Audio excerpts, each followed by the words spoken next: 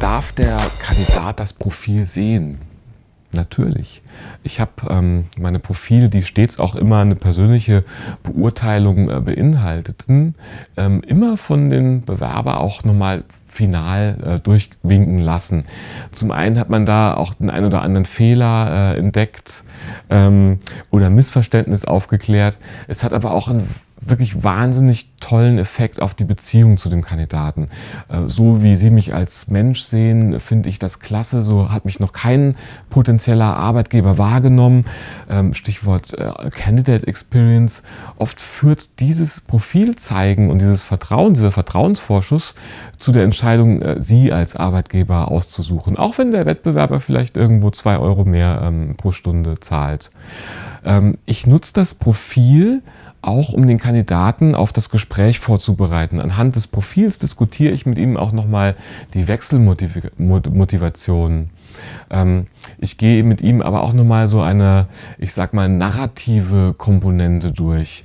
Ich habe ja in meiner Beurteilung ähm, ähm, eine gewisse Geschichte auch drin stehen und der Kunde will, dass im Gespräch vor ihm das sitzt, was auch im Profil beschrieben ist. Das muss also äh, kohärent sein, das muss authentisch sein, sonst, sonst wirkt das komisch.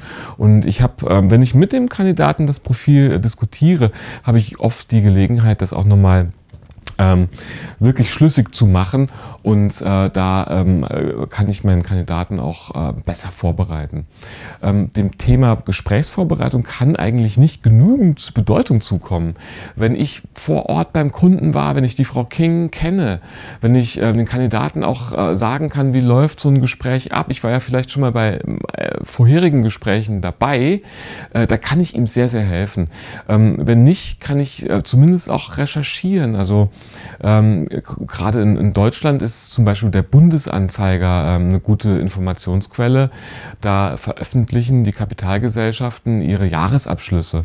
Und auch wenn ich jetzt nicht äh, gerade Bilanzanalyse drauf habe, ähm, der Lagebericht ist äh, oft ein wirklich super Informationsquell, weil die die Frage, ähm, was wissen Sie über unser Unternehmen, die kommt ja in irgendeiner Form immer. Und wenn mein Kandidat dann sagen kann, ähm, ja, ähm, er wundert sich über die Bilanzverkürzung vom letzten Jahr oder er findet die, die Asien-Strategie super toll, dann hat man gleich einen ganz anderen Eindruck hinterlassen, als wenn es ähm, um das geht, was irgendwo in zwei Sekunden auf der ähm, Internetseite ersichtlich ist. Ähm, letztendlich würde ich meinen Kandidaten auch immer einfach Mut machen für so ein Gespräch. Ähm, oft sind die die ähm, Bewerber, die vielleicht häufiger ähm, ihren, ihren Job gewechselt haben, in so einer defensiven Lage, wo sie jeden einzelnen Wechsel erklären, da war der Chef böse, hier ähm, habe ich mein Gehalt nicht bekommen und das führt wirklich zu einer Katastrophe. Ich finde es besser, wenn man den Kandidaten auch äh, in dem Profil auch und da wieder unterstützen, das Profil nutzen, klar macht, sie sollen wirklich eingangs sagen, ich habe äh, viele Wechsel und ich äh, bin jemand, der einfach auch offen ist. Ich habe durch diese Wechsel viel gelernt gelernt und ähm, ich bin immer an neuen Themen interessiert und möchte meinen Horizont erweitern. Ähm, das kommt auch nochmal anders an. Und letztendlich kann man ja auch sagen, dass äh, der Kunde diesen Kandidaten nie eingeladen hätte, wenn er sich an den Wechseln stören würde.